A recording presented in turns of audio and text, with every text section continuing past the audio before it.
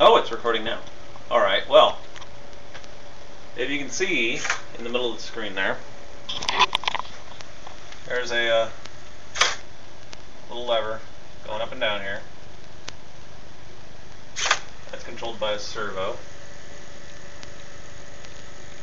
The purpose of that is to control the balls in the return. This servo here is activating the uh, little lockout mechanism on the front.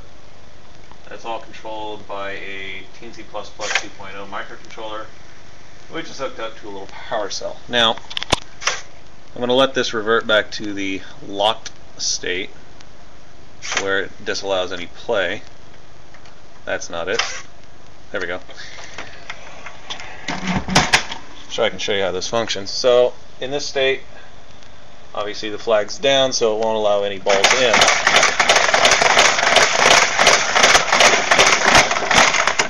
Alright, so right now it doesn't return any of the balls. Alright. So what I'm going to do is I'm going to hook up the little power supply. Sorry about the shakiness of the camera. The first time I tried to use a tripod and it just was horrible. So after about five seconds, and it's right now just set to do every five seconds. Um, basically, I want to do a longer timeout, like maybe three minutes, and have that activated by a switch or something. And basically, I need to uh, add counting for the winning balls. The little scorekeeper, set up the lights. Uh, basically, so you could play it with just uh, 15 or 20 balls, really, because that's all you need when you're running full cyclic. And uh, not sure what else I'm going to do. I might make use of the uh, little lever down here that gets lifted uh, every time you pull the. Oh, there we go. You can't even see it. Um, every time you pull that, I might uh, set that up for some sounds or whatnot.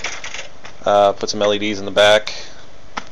Basically, I just want to take this old 70s machine and bring it into uh, maybe early 80s.